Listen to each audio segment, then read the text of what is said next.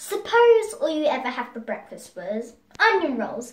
Then one day, in walks a bagel. You say, ew, what's that? Until you tried it. That's my problem. I'm a bagel on a plate full of onion rolls. Nobody recognises me. Listen, I've got 36 expressions. Sweet as pie and tough as leather. And that's six more than all those Barrymores put together. Instead of just kicking me, why don't they give me a lift? Well, it must be a plot. Claire Scalo got such a gift. Because I'm the greatest star, I am by far. But no one knows it.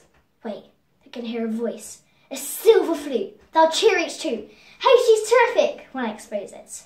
Now, can't you see to look at me that I'm a natural Camille? As Camille, I just feel I've so much to offer. Kids, I know I'll be divine, because I'm a natural cuffer. Some ain't got it, not a lump. I'm a great big clump of talent. Laugh, the bed's in half. Did you ever hear the story about the travelling salesman? A thousand jokes stick around for the jokes, a thousand faces, I reiterate.